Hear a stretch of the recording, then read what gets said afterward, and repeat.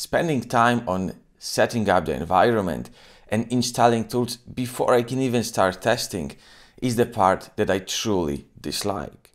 Luckily, we have things like Kali Linux that comes with a bunch of tools pre-installed. For Web3, we have ZIION, and today I'm joined by Andre from Halborn, who will show us how we can spend minimum time on setting up the environment for testing Web3. Enjoy! Hello, Andre. Thank you so much for, for joining me today. Today, we'll talk about um, a set of tools that you've built for testing blockchain. I struggled a lot when I was uh, reproducing blockchain vulnerabilities with all the setup steps, different blockchains, and everything. And from what I've heard, you created something that is supposed to solve all these problems. Can you talk me some about it? Uh, yes, of course, Greg. So thank you for having me. Uh, I'm the product owner of ZIION, which is uh, a virtual machine that includes all the tools necessary to do smart contract auditing. And uh, you can have a chain in uh, Solidity, so EVM, Rust, Solana, Polkadot, Substrate. We have all those protocols already integrated and all the tools to audit them. Awesome. So, sounds awesome. So, without further ado, can you show me how to find bugs with ZIION? Of course. Okay. So we have uh, the N1CTF uh, 2022, uh, which has already been uh, solved and published. So we are not going to spoil anything. Uh, if you look, you have two folders. One is the uh, server, and the other one is the solve and then you have a script that simply compile the solve and just run it. So if we look into the framework, uh, we can run low-hanging fruit uh, tools, for example, to find vulnerabilities in the crates, in the dependencies, or things like that. We have cargo audit, we have cargo Geiger for anything unsafe, we have siderophile for potential uh, fuzzing targets, even though a manual review is always better for this. Uh, we have many other tools that are available, like Soteria. You have other things like that. So let's do, for example, a cargo audit. Well, and we'll see that uh, it will find uh, some vulnerabilities in the crates uh, that this code uses, which is pretty common, uh, simply because you have uh, dependencies that have some vulnerabilities doesn't mean necessarily that your contract is insecure. Uh, for example, you have the this one, the time, which is a potential seg fault, which is quite high vulnerability, yet uh, doesn't mean that you are vulnerable to it. You have other ones, risk conditions, etc. But for each of them, you need to ensure that by checking the advisory, that your contract is not vulnerable uh, through the dependency.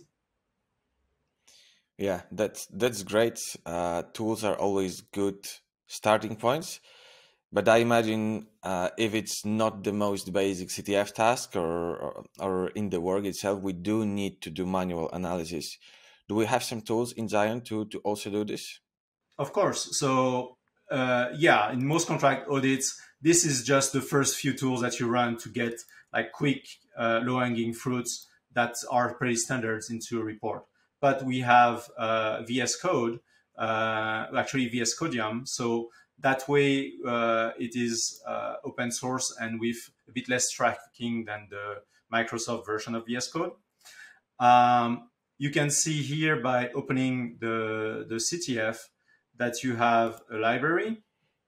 You also have a main uh, contract there. And basically, most of the time of the smart contract auditor will be spent in Codium doing manual code review. Uh, because even though AI tools are big now, etc., uh, nothing beats uh, the human yet.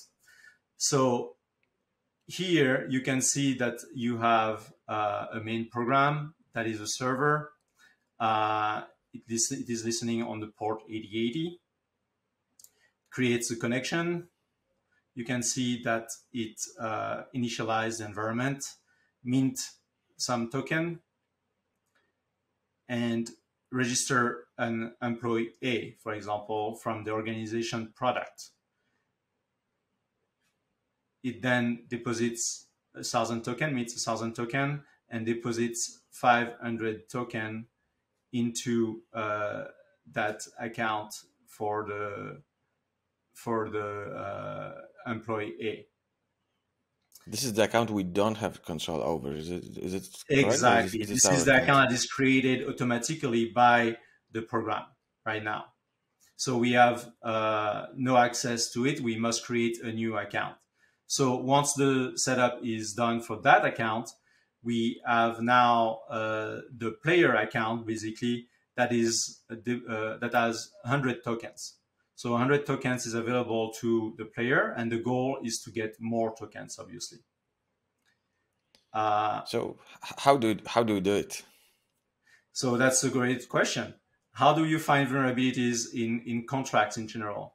Well, first you have to check the different functions of the contracts. So you can see that there are three main functions. One is register function after the initialization, of course uh, you can see that it requires the employee ID to be a certain length, the organization uh, to be a certain length too, and uh, then it ensures that this already exists. Otherwise, it is duplicated. So otherwise, it, it says that it's a duplicate employee. Then we have the register function, which uh, deposit function. Sorry, my bad we have the deposit function. Uh, then we can it can deposit uh, tokens to that employee. You can see that it requires that the employee is already in the system, and it checks that the uh, employee record, the organization, and the ID is already there. Then it does uh, the transfer, and it ensures that the vault amount is uh, super, uh, superior at the amount that we are actually uh, depositing. Then you have the withdraw function, and same thing, it does the checks to be sure that this employee exists. It ensures that uh, we can't withdraw more than what the vault has in the correct order. And uh, it checks for the different seeds and then it withdraw.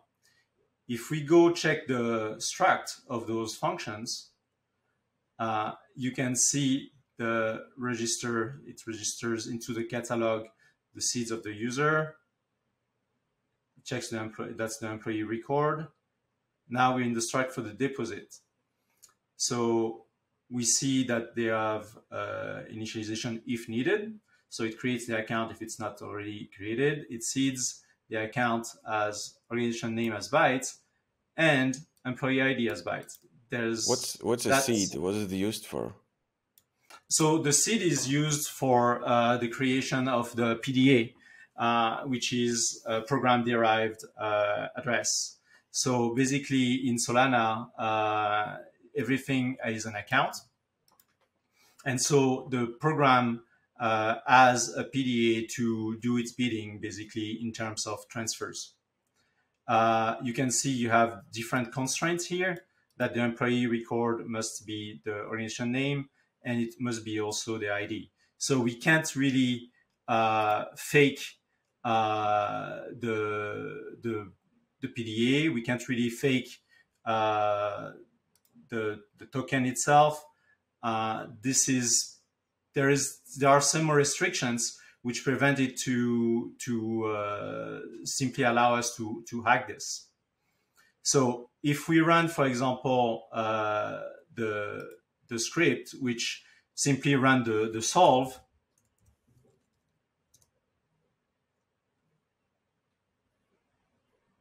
we can see that the player has 100 tokens. That's our, our basic uh, amount. So right now we don't have the flag or anything simply because we don't have more than 100 tokens. So in order to to do that, we have to check how can we withdraw more uh, without encountering those constraints. the key here is in the way that the seed is generated. So the seed is generated simply with uh, org name as bytes and employee ID as bytes, concatenated basically together. So when you and uh, if we uh, predict the seed, does it automatically mean we can withdraw money from a different account, withdraw tokens? Sorry. Exactly. So we basically do some kind of seed collision by doing that. And you can see that the original uh, seed, when you uh, look here, is based on product and employee in the program by default. So to solve that, we need to, to reproduce this string, product and employee together. Well, that's actually quite simple and at the same time a bit sneaky. Uh, and also something that the automatic tools wouldn't find. Uh, you simply need to first uh, put, find the program address, which is with that seed product employee, and then into the, the solving program, which is here, you can see that that's where we at. We have employee B, and uh, then our instructions go here. Well, we don't want to be employee B. We want the funds from employee A. So yeah, but there was a we'll, check for if employee ID is unique, no? Actually, uh, yes, it is. But the seed itself is what uh, allows the transfer. So here, if you change the the strings to do this, it will work. Or you can also simply do that, and it will work because the seed at the end is the same uh, when you add those two uh, strings together. So yeah, because there's uh, there's a check if the employee ID is unique, but there is no check if these two things concatenated are exactly, unique. and that's exactly why it is vulnerable. So if we complete the the uh, withdraw function, we saw how the struct is and and what are the parameters. I'm pasting here uh, the the different uh, parameters for the account to withdraw, which is uh, pretty standard there. And here uh, we're going to withdraw 500 tokens. We could withdraw uh, less if we want, but we know that this employee A has 500 tokens. Here I just save the files and you can see that there's uh, an error here. It's simply because we need to uh, clone those variables because in Rust, uh, you have to borrow or, or clone the different variables. Now that it's saved, this is good. And if we uh, run it, it should normally bypass the security and give us the flag, hopefully. And as you can see, this time we have 600 tokens and the flag is download ZIION at ziion.org. That's that's awesome. That's great. And speaking of download ZIION, how, how does this work? Is it a Docker image? Is it a virtual machine? Where do people go to to install this and basically start testing Web3 vulnerabilities? Sure. So we can download a, a VM directly. I will show you. So we go to the website we click on download. We choose the architecture that we want. For example, Intel AMD, and we want from the VirtualBox one because that's what we have installed.